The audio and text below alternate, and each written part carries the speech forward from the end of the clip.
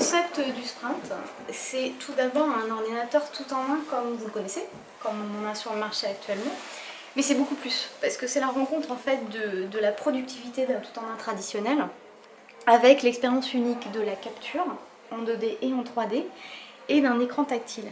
Tout ça en fait ça va briser les barrières qu'on a entre le monde physique, de j'ai des objets, je veux les scanner, et le monde du numérique. Donc là on a un espace de travail qui va nous permettre de lier les deux et on va briser les barrières. Donc les trois éléments principaux du Sprout, on a la colonne à l'arrière qui est en fait le projecteur. Donc on l'appelle Illuminator, c'est ce qu'on voit dans plusieurs communications, sur lequel vous allez avoir une lampe de bureau. Voilà.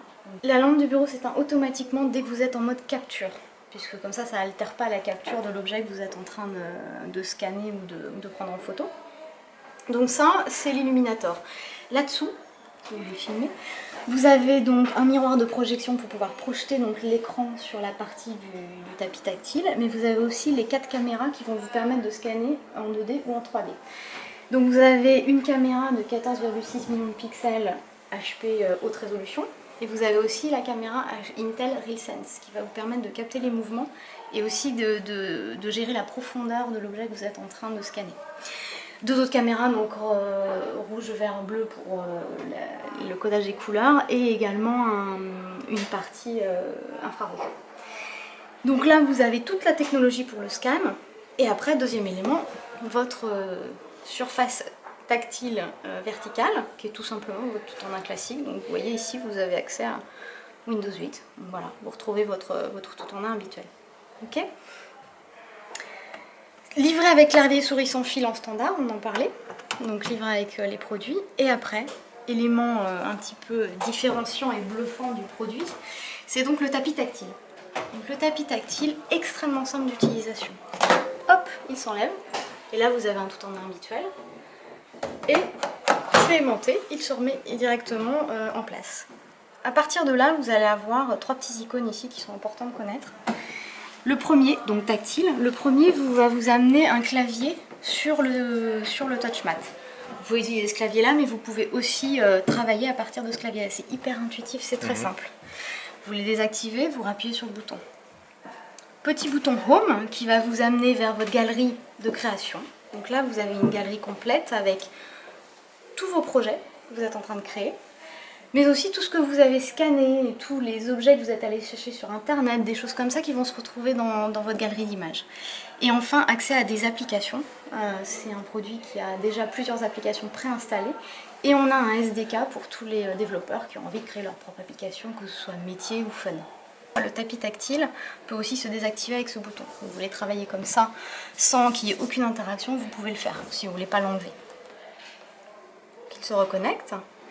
Une fois que vous avez connecté donc votre tapis à votre écran, c'est là que vous pouvez commencer à créer. Et il n'y a que l'imagination qui est... le champ des possibles est ouvert. ici sur les côtés, effectivement, vous avez un, toute la connectique. Vous allez avoir les ports USB, le volume, et vous allez aussi avoir un stylet. Le stylet va vous servir quand vous êtes en train, par exemple, de dessiner sur le touchmat, d'avoir beaucoup plus de précision dans ce que vous faites. Si vous voulez détourer un objet, par exemple, vous pouvez le faire avec le stylet ça donner plus de précision. Et la partie sur le côté est aimantée, comme ça vous ne le perdez pas. Livré en standard avec le produit bien sûr. De l'autre côté vous allez aussi avoir les ports. Et enfin à l'arrière, vous avez cette colonne qui est le ventilateur, ainsi que euh, tous les connectiques, câbles HDMI, etc. etc. Donc si vous voulez envoyer des éléments, c'est simple vous n'avez qu'à les envoyer sur l'écran. Donc c'est un petit peu la magie du Sprout où vous pouvez commencer à retravailler votre, euh, votre objet euh, directement sur le tapis. Donc c'est hyper intuitif. On parle aux créateurs, mhm. mais on parle aussi aux enfants. Ils peuvent jouer euh, sur certaines applications. on parle, ça peut être pour l'éducation, on peut imaginer apprendre certaines choses dans les classes, dans les classes par exemple ça peut, euh, voilà, ça peut être plein plein d'utilisations euh, différentes. Par exemple, euh, je pense que ça va notamment plaire aux créateurs qui, ou aux entrepreneurs. J'ai une TPE, j'aimerais bien faire ma plaquette marketing, mais il faut que je l'envoie à une agence de créa, ça va me coûter cher. Là, je peux faire voilà, les coquillages. J'ai une agence, je fais, je fais ma propre création et je l'imprime directement.